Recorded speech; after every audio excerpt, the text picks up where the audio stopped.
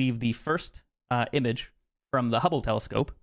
And you can tell that this is basically the same style of image. And what they did was they took a picture of this really dark spot in the sky, just this tiny little speck. And they didn't really expect to find anything. And this is basically what they got back after they watched with the Hubble telescope. Um, eventually, they redid this and they did the Hubble Ultra Deep Field, which is better quality. I believe actually this might be the first one, and then I think this one might be the second. No, that's the first one. This is the second one. Um, the Ultra Deep Field. So they did it again, but they did a longer exposure, if I remember correctly, and it allowed you to see even more. So NASA pretty much announced um, their latest. Obviously, they're going to have five more targets that they're going to go through with Webb's uh, targets and you'll see these basically tomorrow, uh, July 12th. I don't know if they're going to do all 12. I think they are, but these are the first ones that they're going to go th- show through. And I kind of wanted to talk a little bit about what this actually is or what's so significant about it. It's like, well, why do you care so much about a telescope? Um, if you don't know anything about space and how space works or how telescopes work, um, the James Webb Telescope is a big monster. Um, what it does is basically look with a infrared spectrum, and it's pretty much we can see visible light with our eyes, and we can't realistically see infrared. So when you're looking at stuff in space, there's a lot of debris. There's a lot of space like dust, and you can see this in this image here. Um, and then you have the visible spectrum, and then you have the infrared spectrum. So you can kind of see how there's some things that are basically observable that's behind that layer of dust. So you can actually see further, and you can actually see that spectrum of light that isn't visible normally. So if there's something in the way, like where the Hubble is, we just couldn't see it. Now we can actually see more. Um, the biggest thing about the James Webb obviously is it's bigger. It's much bigger.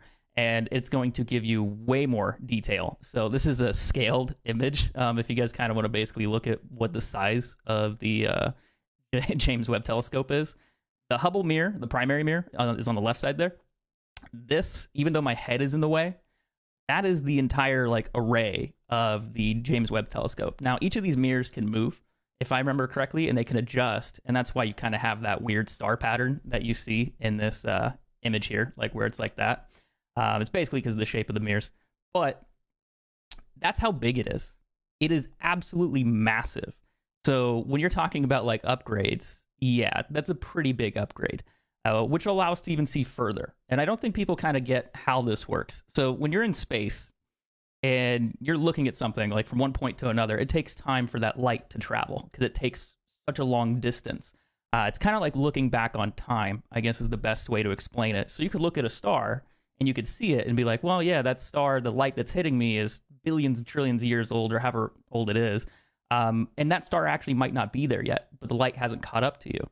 So we can technically kind of look further back. And the bigger mirror you have, the bigger lens you have, basically, you can kind of look back further. Um, so you can see how big this thing is. This thing is actually massive. There's a couple people just chilling down here.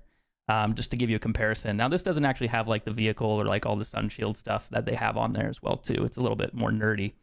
Um, but this is kind of a good example of what it can see, at least what I found online. Um, obviously, you have the Big Bang behind my face here. You know, I'm kind of cute. But this is what we can see with certain stuff, like modern universe, age, billions unit of years. That's the measurement they have here. Um, this is some of the deep field images, basically, I believe is what they what they're showcasing here. And then this is where the James Webb Telescope is, basically right before this era. You basically have the big explosion where everything we're not entirely sure how everything happened, and then you have this period of time where stars and galaxies potentially just weren't there. Um, they weren't kind of you know there's just space debris or whoever fucking knows. Um, and it's we're not sure what was there exactly. That's why obviously it's that, but we're looking kind of on that edge so the James Webb is meant to look at like the very earliest creations as far as galaxies and stars go. Um, that's how far back we're trying to look with that telescope. And I don't think people kind of see that in that perspective. Like they're like, wait a minute, you're looking back at things. But um, the overall remarkable image is pretty nuts. Um, I believe I actually had a smaller image here. This is a test image they teased out, which I think is really funny to look at now. You can actually see some of the galaxies forming here um, very low resolution. Now, this was a test image basically from like their like scope, like their sight to like kind of dial in where they want to aim. Um, so if you ever look at like a normal telescope, they have like the big telescope and they got the little one on top. It's like a smaller optic. That's basically what this was. And this is the final image that we got today from the actual full sensor. And it's absolutely nuts to think about. Um, how big this is. And I don't think people get the scale either.